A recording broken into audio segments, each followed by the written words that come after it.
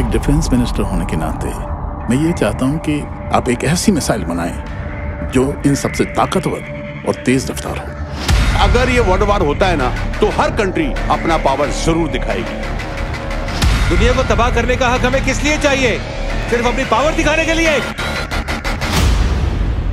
वतन परस्ती कोई हम हिंदुस्तानियों से सीखे। सारे जहाँ में सबसे प्यारा हिंदुस्तान है देश हमारा। जय जय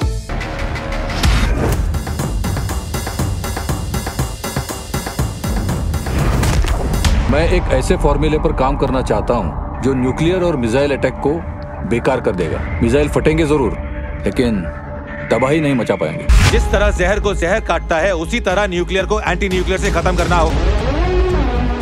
और बैड लक इतना सब कुछ करने के बाद भी कुछ हासिल ना हुआ। खोदा पहाड़ निकला चूहा। खोदा पहाड़ निकला चूहा। खोदा पहाड़ तो निकला चूहा।